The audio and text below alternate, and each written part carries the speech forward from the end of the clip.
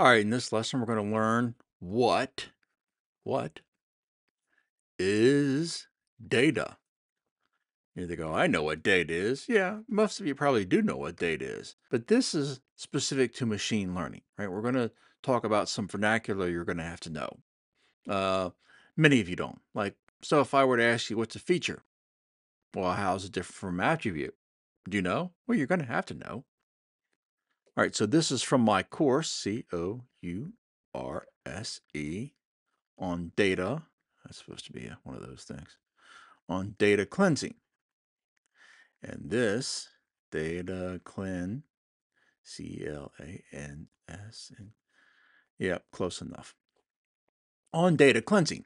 And this is most of the job of an MLE, the only real job in all of AI. How much? About 90% of the job is data cleansing. All right, let's take a look at the video. All right, what is data in machine learning? Predictive modeling projects involve learning from data. Data refers to examples or cases from the domain that characterize the problem you want to solve. In supervised learning, data is composed of examples where each example is an input element that will be provided to a model and an output or target element that the model is expected to predict. Classification is an example of a supervised machine learning problem where the target is labeled, and regression is an example of a supervised machine learning problem where the target is a number. The input data may have many forms, such as an image, time series, text, video, and so on. The most common type of input data is typically referred to as tabular data or structured data. This is the data you might see in a spreadsheet in a database or a comma separated values document called a CSV file. This is the type of data we're going to focus on.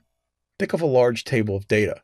In linear algebra, we refer to this table data as a matrix. The table is composed of rows and columns. A row represents one example from the problem domain. It may be referred to as an example, an instance, or a case. A column represents the properties observed about the example and may be referred to as a variable, a feature, or an attribute. So a row is a single example from the domain, often called an instance, example, or sample in machine learning. A column is a single property recorded for each example, often called a variable, predictor, or feature in machine learning. For example, the columns used for input to the model are referred to as input variables, and the column that contains the target to be predicted is referred to as an output variable. The rows used to train a model are referred to as the training data set, and the rows used to evaluate the model are referred to as a test data set. So we have two things here, input variables and an output variable. Let's go with input variables first.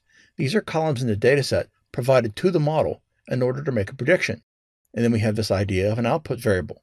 This is the column in the dataset to be predicted by the model. When you collect your data, you may have to transform it so it forms one large table. For example, if you have your data in a relational database, it's common to represent the entities as separate tables. This is referred to as a normal form so that redundancy is minimized.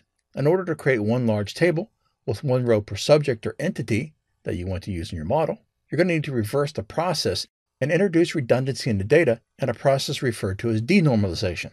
If your data is in a spreadsheet or database, it's standard practice to extract and save that to a CSV format. This is a standard representation that is portable, well understood, and it's ready to be used for predictive modeling processes with no external dependencies.